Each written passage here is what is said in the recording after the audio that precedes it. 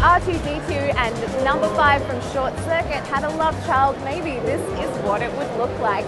Meet Tipron, a projector robot. Obviously it has a projector inside at 720p resolution, connects via smartphone and Wi-Fi, so you can control its movement around your house.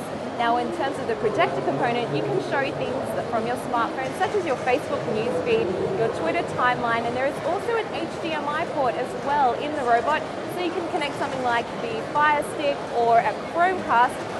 You can also change the orientation of the projector from portrait to landscape. So imagine instead of pulling over in the morning to your smartphone and picking it up from the console, all you need to do is just call up the robot and project your Twitter timeline or your email onto the ceiling and you can read it straight from the comfort of your own bed.